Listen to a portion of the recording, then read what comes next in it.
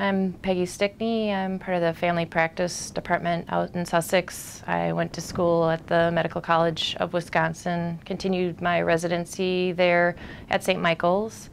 Um, I've always known I wanted to be a family practice physician. I really enjoy working with a wide range of people and um, I'm helping them through their needs.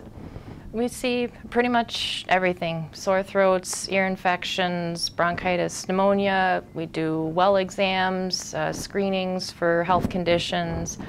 Um, if other family members have certain conditions, we may screen for those. Um, bumps, bruises, broken bones, lacerations, you name it, we've probably seen it. I, I love working with people. I really do like working with people to um, help them through their medical conditions or even just give them reassurance that everything's going fine, um, helping them through transitions, hard times. It's a, a decent thing to do.